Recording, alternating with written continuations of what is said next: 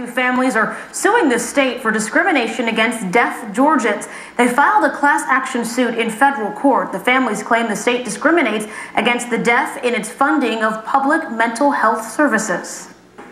Renita Belton is learning how to be independent, and she's doing it with staff who speak her language. But now the group home her mother started is at risk of losing its a battle with the state over funding. I can't believe that here it is 2010 and we're still having to fight this issue that the state's known been existing, you know, for six or more years. Right now, Georgia doesn't set aside funding for mental health needs for the deaf. That means the 1,400 deaf individuals who need these services have to get them in places that are not equipped, places that don't have special phones, doorbells, or most importantly, people who can communicate with them. These are real people who need these services who simply cannot get them and um, are isolated, and that's not just.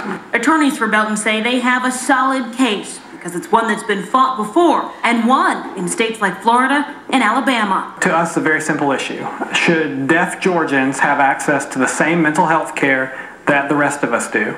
Um, federal law says yes. Renita is just hoping she can keep her lifestyle the way it is. When I'm talking with hearing people, it's really difficult because we have to write back and forth. So I prefer signing with a deaf staff. And living with other deaf people, people who are like her, striving to be independent. Attorneys say they don't know how long it'll take before the case is resolved.